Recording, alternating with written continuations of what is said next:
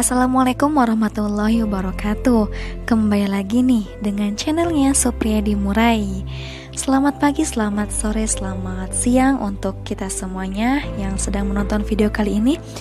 Kali ini saya akan sedikit bercerita mengenai Syekh Datul Kahfi. Tak begitu banyak yang mengenal nama Syekh Datul Kahfi atau nama lainnya yaitu Syekh Nurjati. Syekh Datu Kahfi, Syekh Idhofi Mahdi atau Syekh Nurul Jati. Nah, kali ini kami para santri dan santriawati Pondok Pesantren Hidayatus Solihah Al-Baki sedang mengunjungi uh, makom dari Syekh Datul Kahfi ini.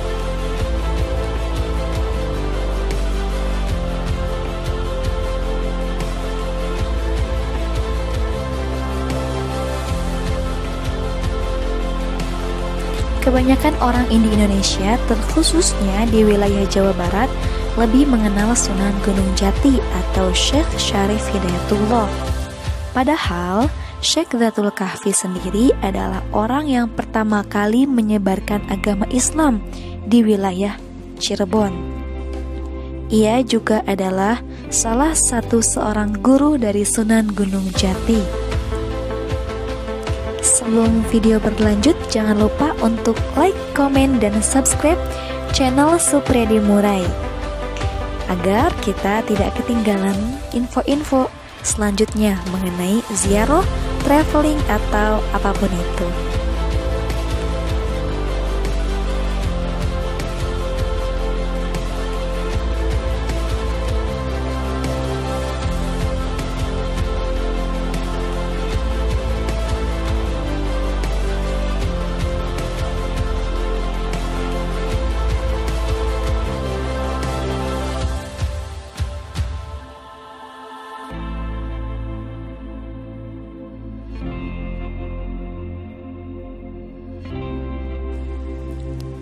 Islam sendiri mulai berkembang di Cirebon sejak kedatangannya di tanah Cirebon, tepatnya di wilayah Giri Amparan, Jati yang lebih populer dikenal dengan Gunung Jati.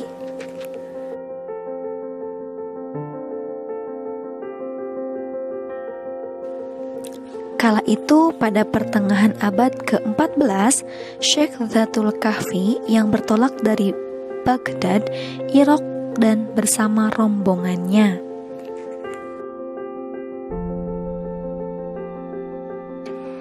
Konon, Sheikh Zatul Kahfi yang terlahir di Semenanjung, Malaka, itu memang diutus oleh Raja Baghdad, ayah dari Syarifah Halimah yang merupakan istrinya, untuk menyebarkan agama Islam di tanah Jawa. Sebelumnya, ia memang menyiarkan Islam di Baghdad setelah menunaikan ibadah haji di Mekah.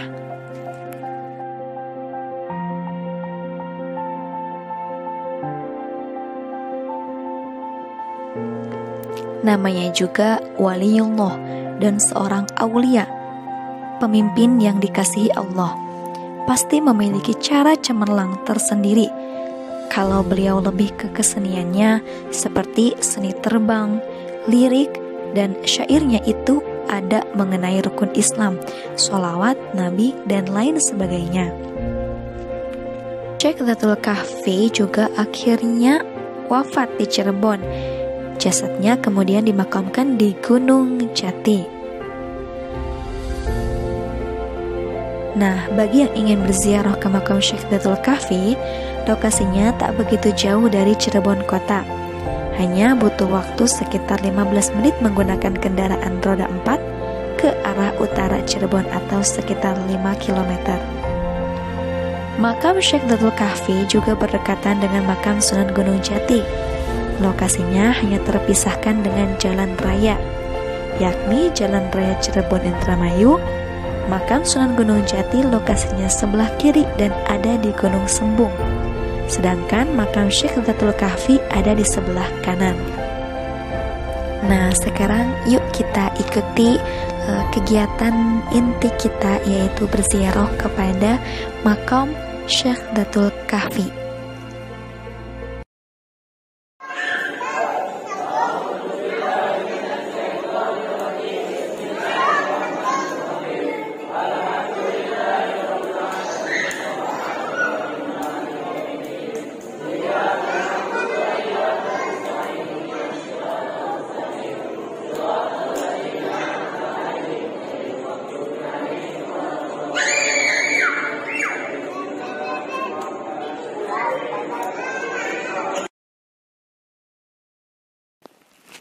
Aroma dupa, kemenyan dan wangian bunga tercium nampak pekat di dalam ruangan itu.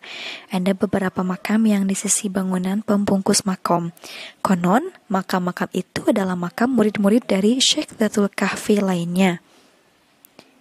Jika ingin memanjatkan doa atau mengirimkan doa untuk Syekh Datul Kahfi, peziarah hanya diperbolehkan duduk bersila atau bersimpuh di depan empat sisi dinding tersebut. Di tiap sisi juga terdapat batu untuk penaburan bunga atau pembakaran kemenyan.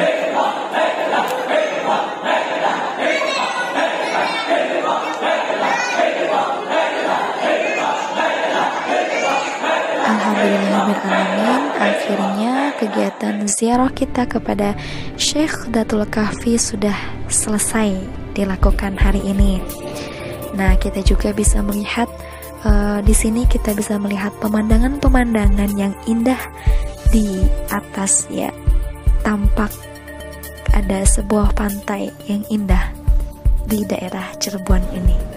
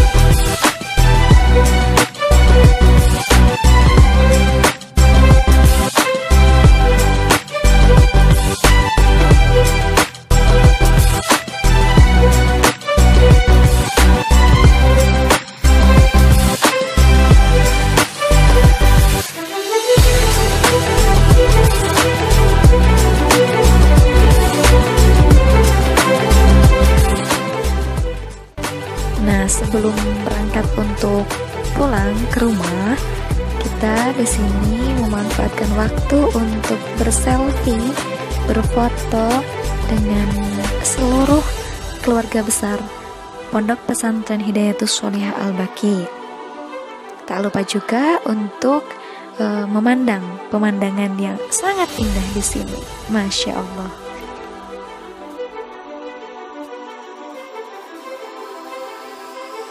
Alhamdulillahirrahmanirrahim Selesai juga perjalanan kita kali ini Yang sudah berziarah kepada makam Syekh Datul Kahfi. Mohon maaf apabila ada kesalahan dalam berucap. Wabillahi taufiq hidayah. Wassalamualaikum warahmatullahi wabarakatuh